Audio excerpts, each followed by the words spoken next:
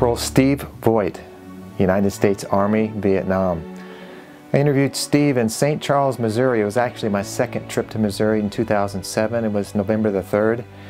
And Steve was 58 years old at the time. He's still with us today, and he tells an amazing story of his experience in Vietnam as a young man. He went over to Vietnam in 1970, spent 70 and 71 in Vietnam. Went to Fort Leonard Wood, Missouri for his basic training and Fort Sam Houston, Texas for his advanced training.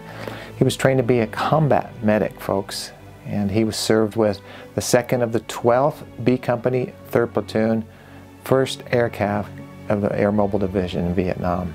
Tremendous story. Steve, I thank you so much for sharing your story. He, I actually got a couple of pictures of a car that he had a picture on his car. I'll, I'll let you watch it, uh, see it. It's really amazing. So I want to thank George Long, William Jones, and Carol Lee Berry for making it possible for you to watch and to listen to Steve's story. Thank you, gentlemen and ladies. I appreciate your support of my work and uh, your passion for our country and our veterans and helping me to continue these stories. I, I really, on behalf of our younger generation and the families of these veterans, thank you so much for your support. Folks, I'd like to encourage you to sponsor one of these stories. Um, there's many of them to sponsor. There's information in the video description on my website, larrycappetto.com. Click on the link that says sponsor a vet, or you can donate to my work. There's information in the comments section of this video. I want to remind you that my Voices of History radio station is broadcasting 24 hours a day, seven days a week, KVOH, Grand Junction, Colorado. You can access it through my website, larrycappetto.com. It's on the home page, the player's there. You can download the app at the Apple App Store, type Voices of History. There's a link in the video description. You can just click on it and go right there. Download the app, it's free. And then it will, it will be in the Google Play Store shortly. For some reason, Google is just taking their time, but it will eventually be available on the Android platform. So, but you can watch it on my website if you don't have that right now. I want to encourage you to just support that station too. It's listener supported. It's so great. I listen to it all day, all day long. I just click on my phone while I'm in the car, uh, shaving, taking a shower, whatever I'm doing, eating, and I just it's at my fingertips. And it's in our young people's hands today, folks. I want them especially to access this radio station and our truck drivers, those out there that are driving trucks. I love our truck drivers. I salute all of them. Thank them for what they do, their service to our country backbone of America also. So anyways, a lot to share here. My heart's full. This is the 20th anniversary of my work, folks. And I'm just happy to share these stories with you. Subscribe to this channel. Share this video. Another great story from Vietnam, Steve Vogt. Thank you for watching and listening. God bless you.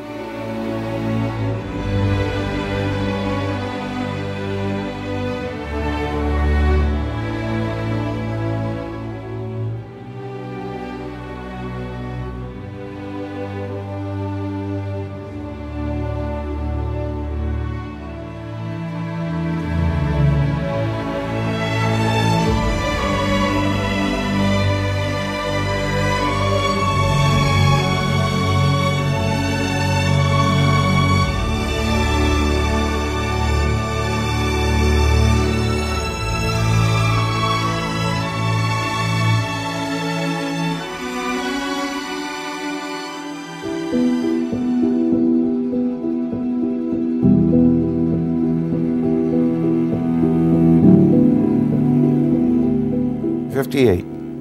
You're a young one. Young guy, huh? Yeah. What year were you in Vietnam? 70, 71. Were you drafted? I was going I was going to be drafted, had my uh, physical and decided I didn't want to be infantry. So I went to recruiter and asked him what he had. And he didn't have anything that I liked for two years. So I said, what do you got for three years? And I saw medic, and I, I was thinking hospital. So I said, I'll take an extra year to be a, a medic. And it turned out that uh, I spent virtually my whole time with uh, the infantry. So you went to training where? Uh, I had basic training at, at uh, Fort Leonard Wood, and then uh, 10 weeks at Fort Sam Houston in Texas. That's just outside of San Antonio and got orders for Vietnam. Came home on leave, got married, and went over. So you're training to be a combat medic. Uh, is that uh, is is it tough? Is it are they preparing you for obviously for combat? I mean, are they telling you you're going to be in combat soon and you better learn this stuff? I mean, what were they? No, they didn't tell you that. They just you just went to uh, classes, different classes, and I. Can you really sim- simulate though combat? No, no. They give you you know scenarios, but it wasn't nothing like the real thing, and it was really just cursory training for for the real thing. It, and after I got over there, all I just kept thinking, you know, what if this happened? And I'd go over in my mind what I would do, what if that would happen? So, because I knew I was not prepared. The training was not enough. And it scared me. Tell me about what you remember the first time you went in country, where you were, what you felt, smelt, saw. I mean, what do you remember about arriving on, on a plane or whatever, however you got over there? Uh, I imagine like everyone else, the heat. And there was a smell. And then uh, in process, then when we I got attached to the uh, First Cavalry Division, we had to go through uh, a few days of cursory jungle training, and then I got a, assigned to a unit and flew into uh, Song Be, and the LRRPs asked me if I wanted to join them. I said, well, I would like to get some experience first. So I turned them down and uh, the next day, the company came in, and then I was attached to a platoon, and uh, I stayed with that platoon until we got uh, disbanded because uh, lack of uh, personnel. Too many got wounded one day. So let's, let's let's talk a little bit about your tour there. One year. One year. What outfit or division or company were you with? I was with the second and twelfth B Company, third platoon. Is that part of the first cav? With the first Cavalry Division, Air Air Mobile. Second of the twelfth. What is that? Second. Uh, company or division? Second Brigade. Twelfth. Twelfth Cav. Okay, but it's part of the first cav. Yeah, they've got you know they've got the uh, first brigade, second, third, fourth. What was your rank? Uh, I was a PFC when I was there. When I got there, I, I made E4. And after I got back to the States, I'm 85. Tell me the how a, a, medic is attached to a company. Is there one medic for a company, a division, or tell me how that works? A company, I mean, a medic is a, on paper, is assigned to headquarters company. But from there, we are assigned to a platoon. They tried to have one medic per platoon, and you just stayed there with that platoon unless you, for some reason, need to be switched around. But I, I, I never switched around until uh, I served my time and they got new medics in because old ones were going out, and I became a company or senior aid man. I stayed with the uh, company commander and the weapons platoon. Tell me about the first time you experienced combat, where you were, what you remember about it, and what you had to do. We were going down to a clearing to get resupplied and the point man past the corner of the clearing and into the jungle and he got shot. Someone said, go get him. I, I just ran out there and uh, went and got him, and as I was looking over him, someone else came out. It just happened to be, uh, found out later, the uh, platoon sergeant, and we carried him back. And uh, my best friend was lobbing M79 grenades over my head to keep their heads down. And he hit a tree with one, and a piece of shrapnel came back and hit him in the chest. And he didn't tell me. We got the got him medevaced out, and then my friend told me, Doc, can you look at my chest? I said, Rick, why didn't you tell me this earlier? But that was the type of guy he was. And that happened again later on, after everything was over. Hey, can you look at my neck? And because if he wasn't hurt bad, he didn't tell you. Yeah. So.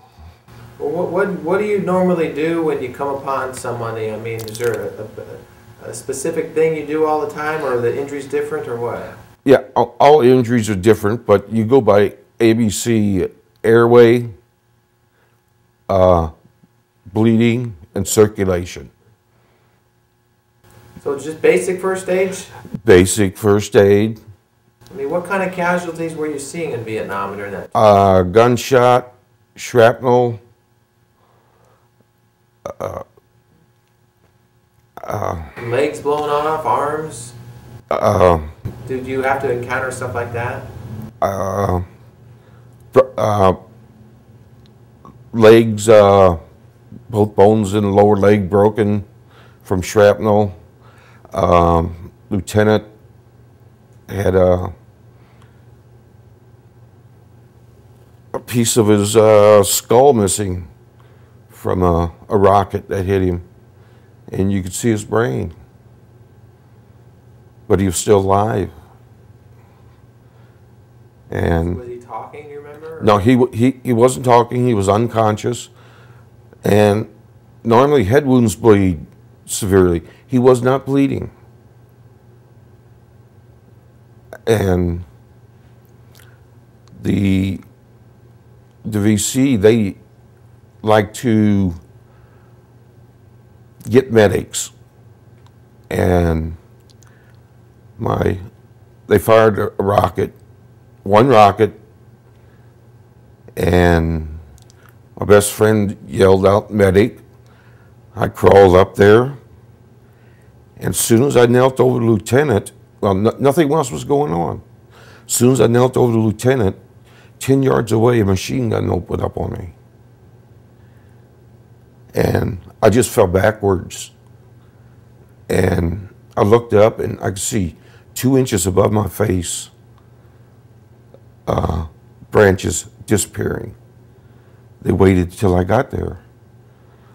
But someone, I don't know who, came up, silenced that machine gun so I can take care of him. And then I had, uh, had him radio up to get another medic up because I had another one wounded. Neither one could move. And I ended up having 17 in my platoon wounded within two hours that day. And that's why they uh, disbanded our platoon. We didn't have enough people. Is it like the movies or is combat? I know the answer to this, but or uh, you know you can't really recreate it. But I mean, it's not like the movies. This is real life. This is happening. And uh, what, what's going through your head when you're seeing the casualties, the wounded? Are you freaking out? Are you are you just focused on your work? I, I was focused on my work, and actually, after I started treating the lieutenant, I don't remember hearing any more rockets go off, no more gunfire. It it was all uh, out of my head.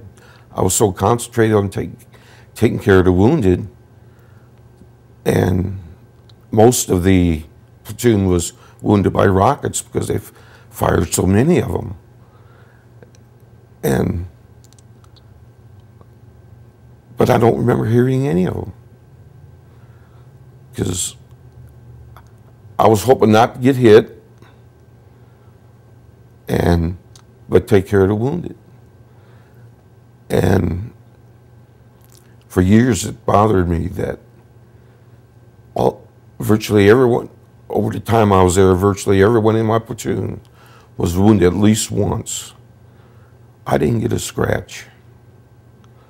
And I, at times I, I feel like I shouldn't be looked upon as them because they got wounded. I didn't. And, but at a reunion, we had, there was six of us.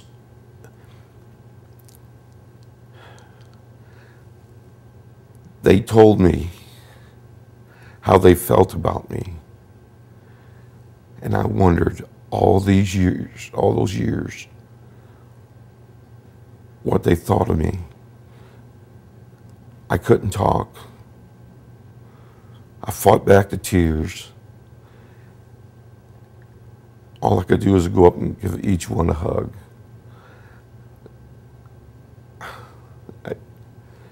Because I've always wondered what they thought of me. And I, I was always scared to death. And, but I always went up because they were my guys. I was in charge of them. Yes, it was the lieutenant's platoon, but they were my guys. I don't know how you can get through something like that, you know, being a medic and everything that you saw and you came upon and, and getting those accolades from your buddies. I mean, that's, tell me about the camaraderie in combat. There, the brotherhood, whatever you want the, okay, Oh, it, that was there, but there was a lot of joking going on. Yeah. And one of my wounded that gave me this shirt a few years back, when I got to the platoon, he was on me because I was a cherry. I haven't been under fire. And he was always on me. I just let it roll off my back until after I took care of the uh, point man. And I went up to him after it was all over. Kibby, am I still a cherry? He says, no, Doc, you're not. And they, they do anything for me. They protected me.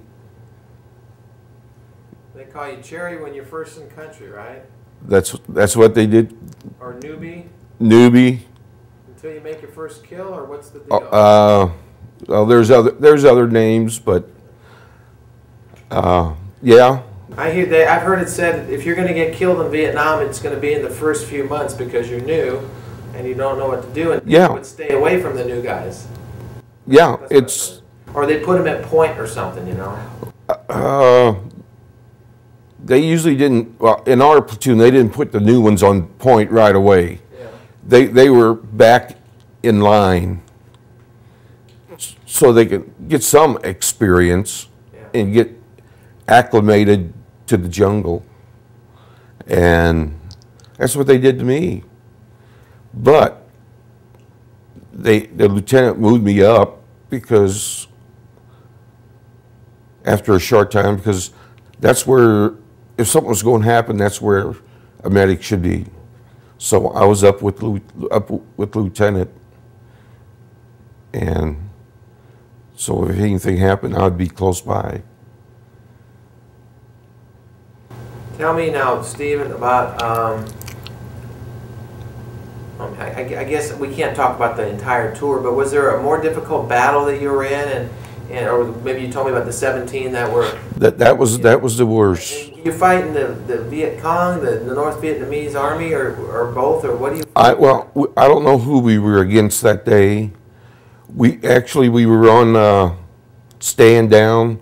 We were on a fire base for supposed to be in for a rest to get showered, shaved, and we got ten new guys.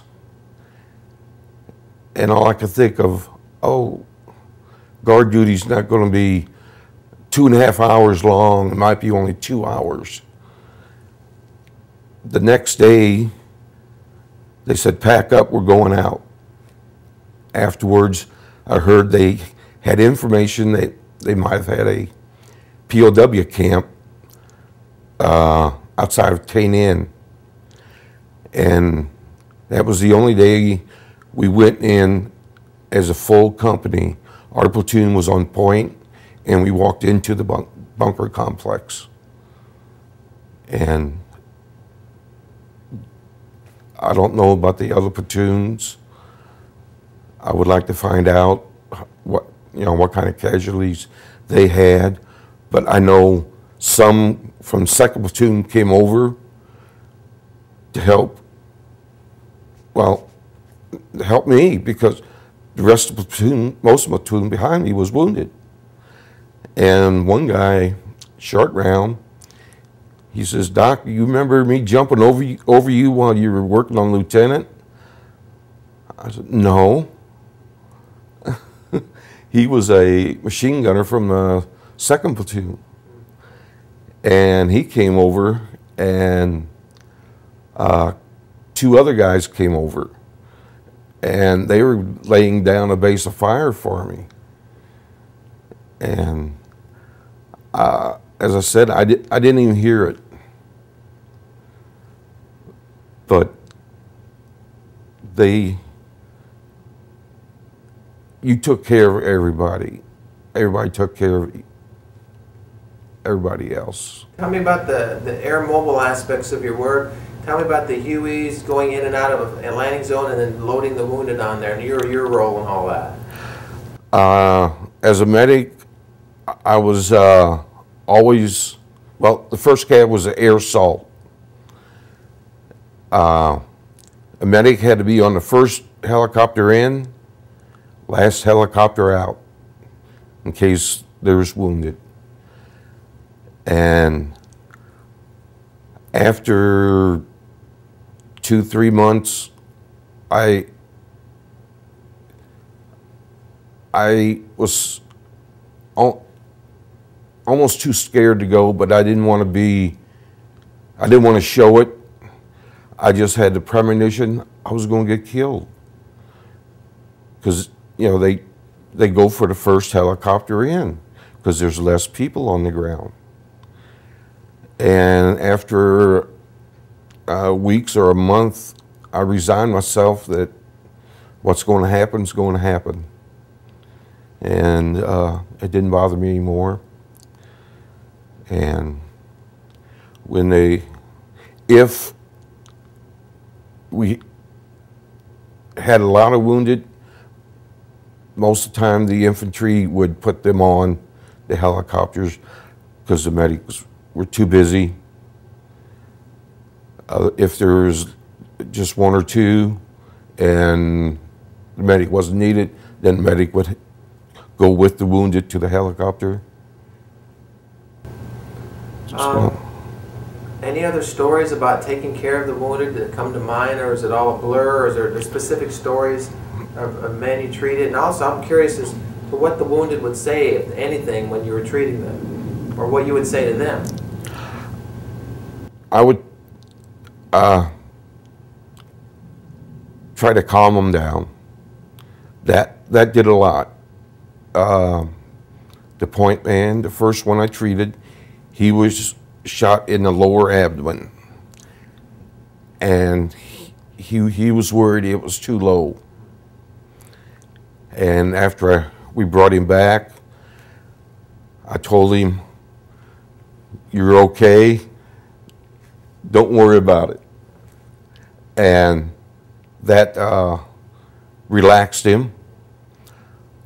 And if it's a head wound, chest, or abdomen wound, you're not supposed to give morphine. He, Why is that?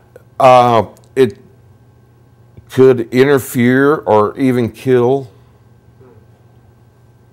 So he, he asked for some morphine. Well, I knew I couldn't do it. I took out a needle and I just stuck it in his arm and told him I gave him morphine. And he calmed down more. So it's you you put a good light on things. And people don't understand, but we you laugh at terrible things because if you didn't laugh, you'd go out of your mind. And you tell the wounded, aren't you lucky? Just think what would happen if it was over another inch. You know, you get the mind off the off the wound, and just you con them. Did anybody die in your presence?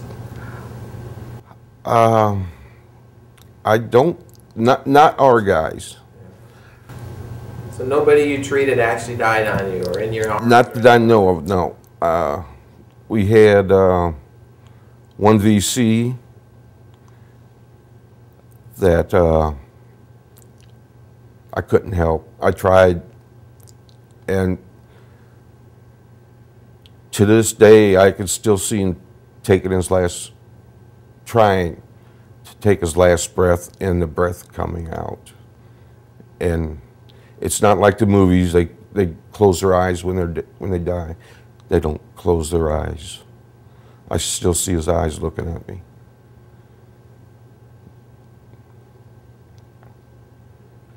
Um, that was a Viet Cong? Yeah. It, it didn't matter to me. It, it was he was a non-combatant at the time. He was wounded. I'm going to take care of him. Um, are, you, are you a religious man back then? Do you, Yes. did you pray at all? I mean, you remember yourself praying or getting through the hard times? Or Yes, I took uh, no. Uh, my wife's uncle was a minister.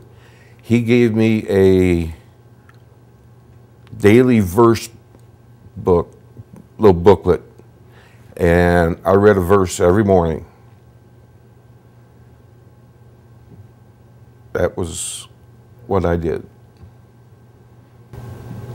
It's interesting just to talk to you, and I've talked to corpsmen in World War II, chaplains in Korea, and some in Vietnam, and I just there, there's I think there's a spiritual side of war that you know that comes, and I, I you, think about death. How how did people die? I heard violently. I heard they just silently, peacefully. I mean, you hear all these things. I've heard that the wounded will call for their mothers at times. You ever hear anything like that?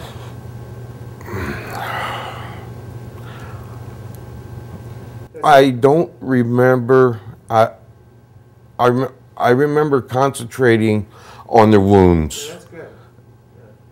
And yes, they did talk to me.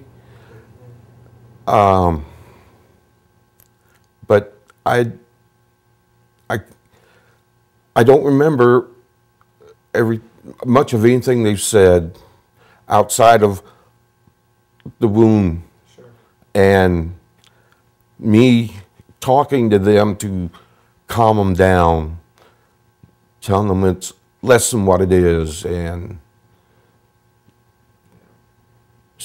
because the more calm they are, the better they'll do. Were you in a, a extreme firefights or just kind of sporadic? Fire? It was uh, sporadic, but we had this that that one uh, major one. Did you ever see Forrest Gump? Yes, The movie. There's a there's a scene in there about Vietnam, yeah. going through the jungle, whatever. It started raining on it.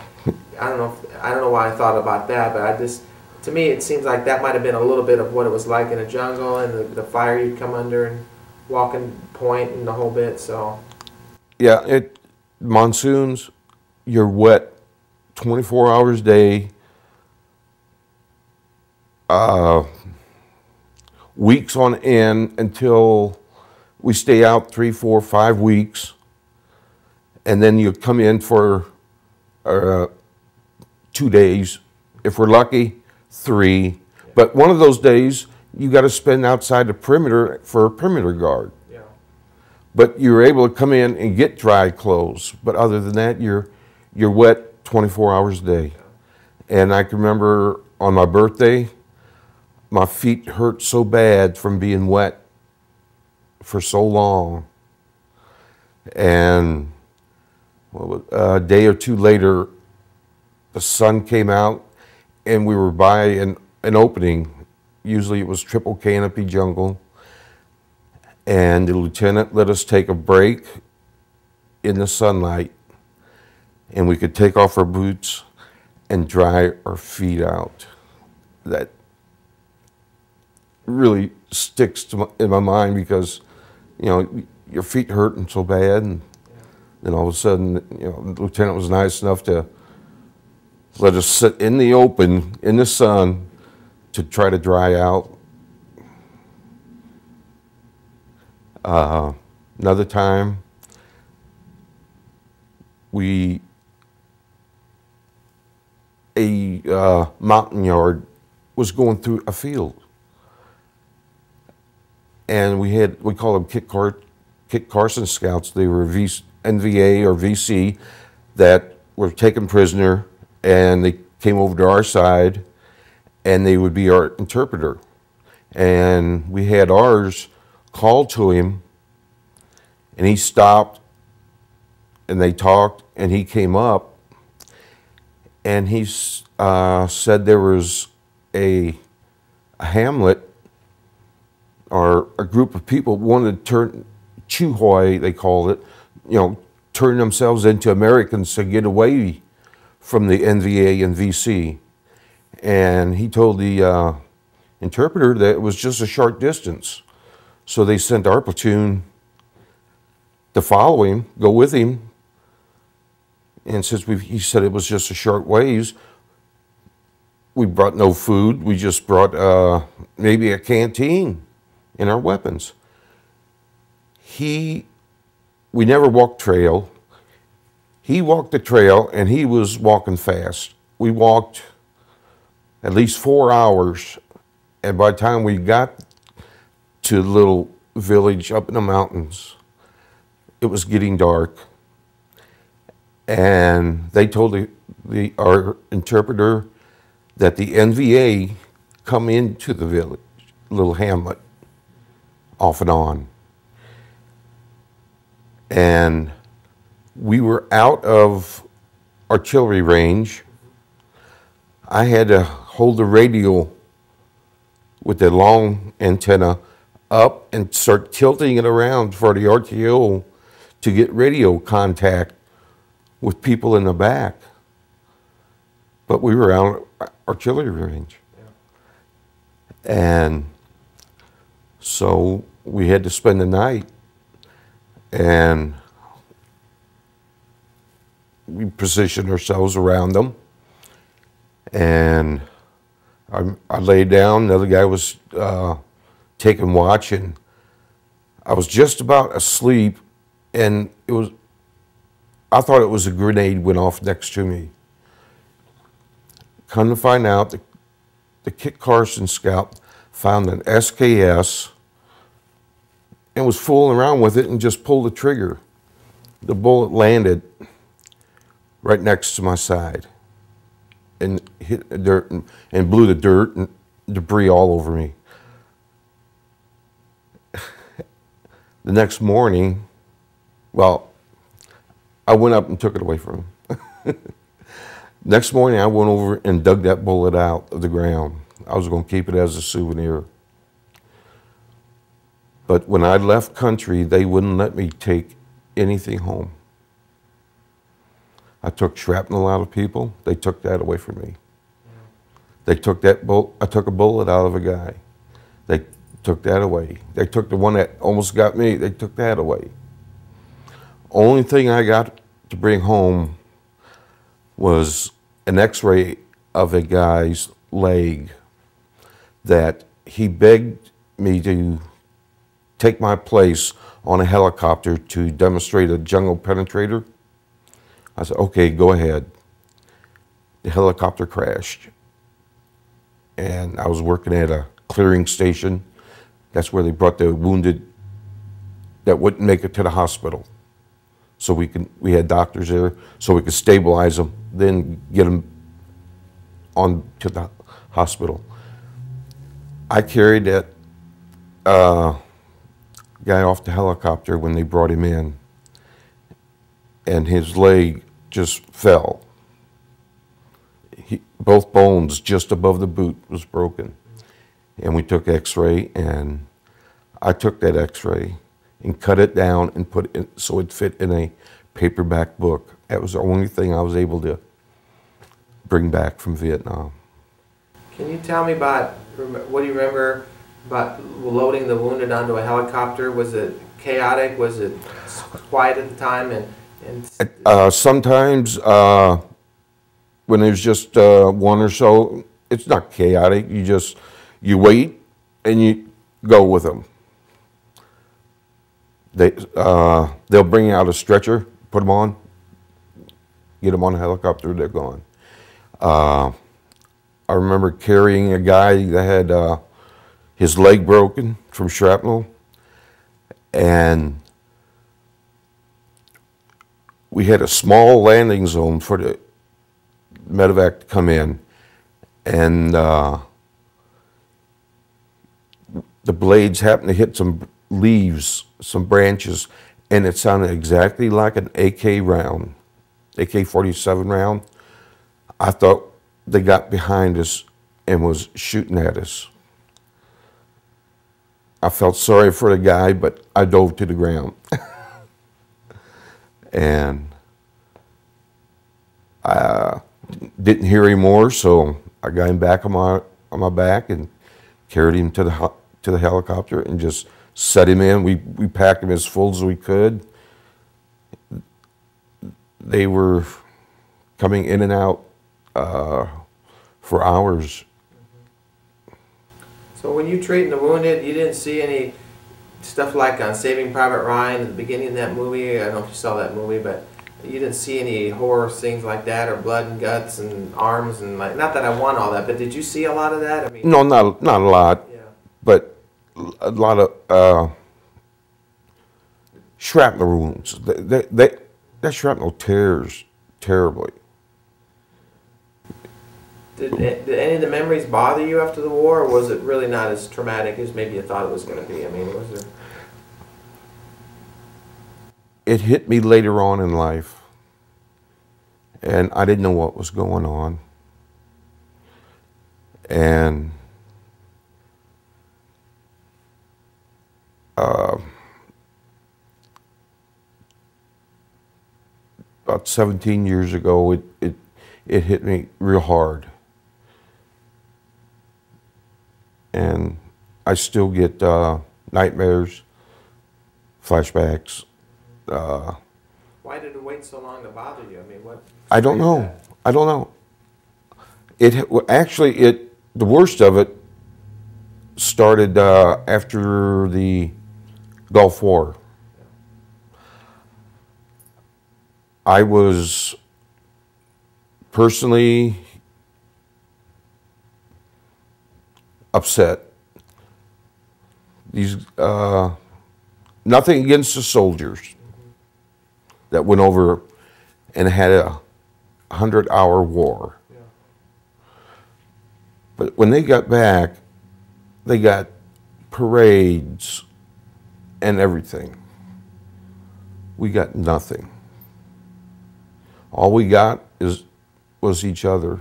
And even then, well, I kept in touch with one, one guy from Vietnam until uh, 10 years ago.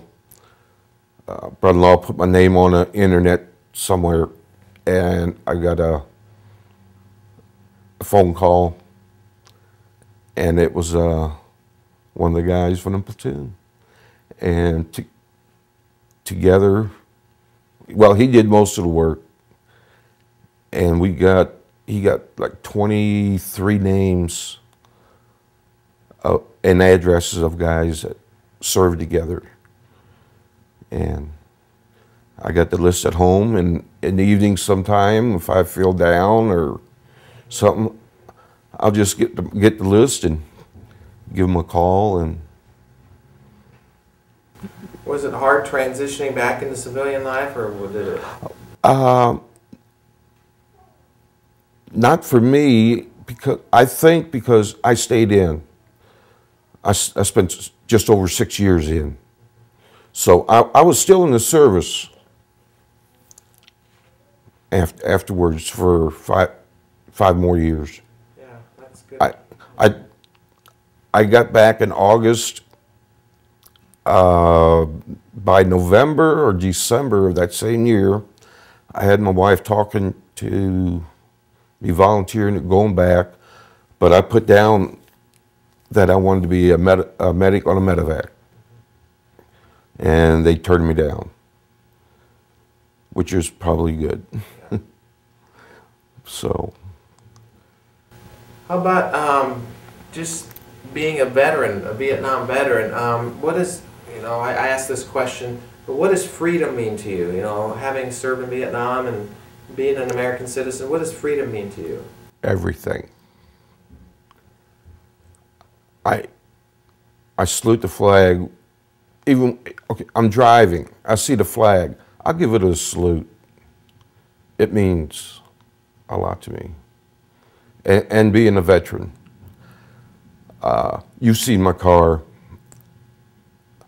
It's for for me and for all veterans. The the pictures I have on the on the car. People respond positively to your car or negatively? awesome. Yeah.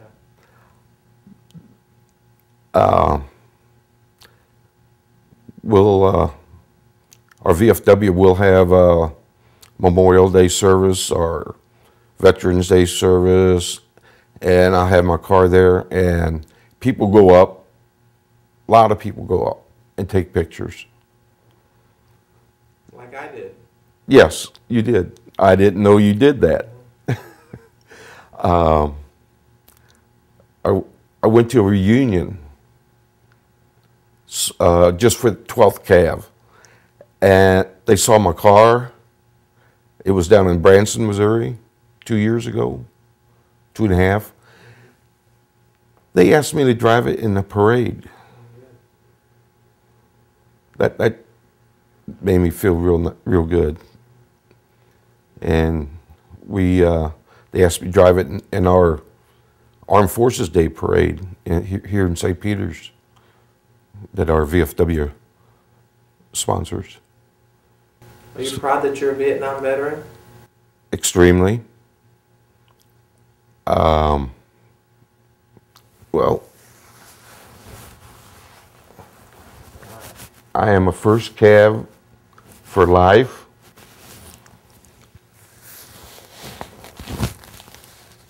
I am a combat medic for life. It, that, that's me. Do you, do you think it's important that we record these stories, Steve? I mean, for future generations? Yes, I do. And I, I've talked to high school kids and asked them how much do they know, talk about or learn about in history about Vietnam, and they say little or none. And I don't think that's right. They should go cover all the wars, all the conflicts. I agree. That's what I'm doing here, trying to get this done. So I, I really appreciate it. Um, well, you didn't really have a homecoming because you didn't come home. You stayed in the military, but a lot of people did. But um, My homecoming was coming home to my wife that I was married to 11 days before I went to Vietnam. And uh, two and a half, three months before I came home, she had an auto accident. and I got a letter. I don't know if, if it was from the Red Cross or from her mom, or it was two weeks old. She already had the accident two weeks. It took me three nights. It was a they call it MARS Station Shortwave. The atmosphere had to be right, and the person in on the West Coast that volunteered their time would transfer the call to a landline. And so it was over two weeks. She had just gotten out of the hospital. And the Red Cross said, There's no need for me to come home. Her parents would take care of her. Uh, a day, she told me a day before she got, I got home, she got off crutches. So I took care of her because her her knee and all the ligaments and tendons were torn up. So I was her therapist to keep to keep that leg uh, moving. We're almost out of time, but I want to make sure before I shut off the camera. Is there any other stories about being a, a medic? Uh, they called you doc. I mean, any any other story that comes to your mind? If not, then then that's fine. But as far as being out in the field, working, um, tending to the wounded, um, if there's a particular story that maybe comes to your mind that maybe stands out more than the others, as far as maybe the type of wound or the person or maybe you knew him or not. I mean, is there any other story? I mean, or is it just a day-to-day routine thing, nothing out of the ordinary? No, what bothered me a lot was not knowing what happened to him. You put him on the helicopter, you never hear from him again. You don't know if they lived, died, how badly they were wounded, unless they came back. Well, they, sometimes you'd know they would be coming back because it, would be a, a minor wound bad enough to get out of the field for a few weeks to a month, but they'd come back to the platoon later on. But for most of them, I don't know what happened to them. So that I, I, to this day, I wish I knew. And the lieutenant that I talked to about, about earlier, he was uh, new to our, our platoon, and no one remembers his name. And I've gone to the moving wall and had them search for a lieutenant in that time period. And there was no lieutenant that was that had died in that time period. But with that head wound, he could have died later on. And I just wish I knew. So you didn't do surgery, you just did a little bit of first aid and patched him up, and was that it? In the field, yeah. Morphine if they needed it? If they needed it. I had one guy that, the one had uh, his lower leg broke, he didn't want morphine. I said, you sure? He says, no. Okay. But the, I got uh, the first cav had a try to go with the medics only stayed in the field X amount of time if they had medics to replace them because the trauma that they were under. Sure. So I got moved back to a clearing station and there, the doctors would let you do anything. Like I said, I, I was able to take shrapnel out people. I've taken a bullet out. Uh, a doctor asked me to put a, he said, you want to put a chest tube in? I said, can I watch one first? But I, I worked until I was, I got up in the morning, I was there waiting for wounded until I was tired at night if I didn't have uh, didn't have to work the nights, I'd work until I was tired and go to bed. But that was very satisfying having them come in and you were able and you had the instruments and everything and a doctor to back you up. Because out in the field, you're on your own. It, you, it should have been a, a trauma surgeon in the field. Do you ever feel helpless? All the time. That's what I, I always went over different uh, situations in my mind as we were marching along. You know, what if this type of wound or that type of wound? where, where, where is this in my aid bag? Where's that in my aid bag? I can imagine uh, feeling helpless. Do you think you treated dozens or hundreds of casualties? Oh, um, dozens, not not hundreds, but. Do you feel good at night when you go to sleep, like you did something and helped somebody? Yes, I do. I do feel good about myself. I hope I did no wrong. That that's on my mind too. I I just I try to do my best, and I, I hope I didn't do no harm.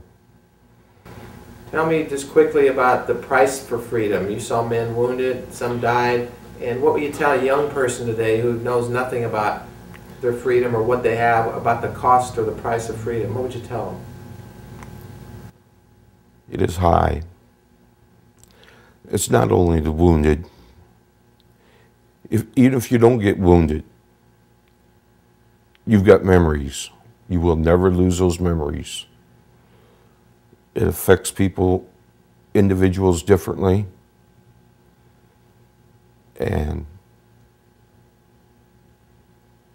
even now, I wish I could help, but uh, I don't know of any vets that I can help. I have talked to some.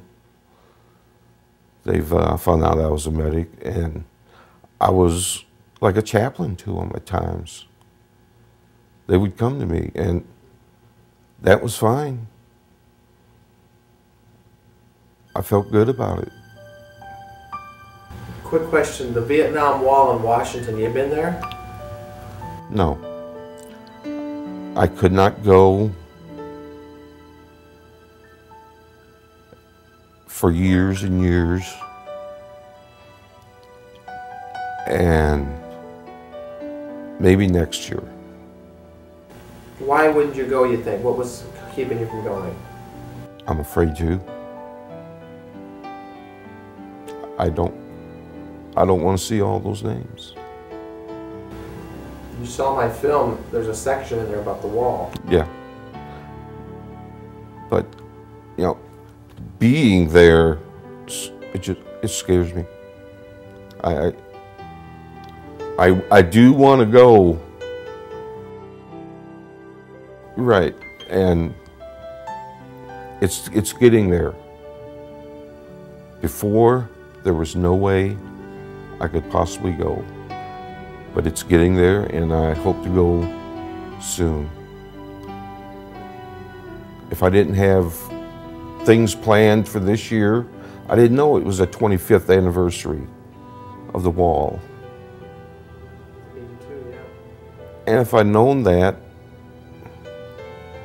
I would have made plans because uh, some of the guys in my platoon are going. When is that? Uh, actually, the parade, well, that's on uh, November 11th, Veterans Day. And, but they have the parade, uh, I think they said the day before. That'd be the, a Saturday. That's today. Oh, the day Ne- next week. The Tenth, the tenth, yeah. Yeah, that'd be 10, ne- one week from today. And if I hadn't made plans a year ago, I probably would have gone with, uh, I think there's uh, four or five of them going. Good. And that, that would help being with them. But going by myself is scary.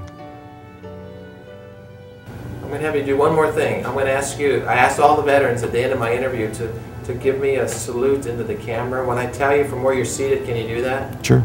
Okay, look right into the camera, Steve. Give me a salute. This is for the guys that didn't make it home.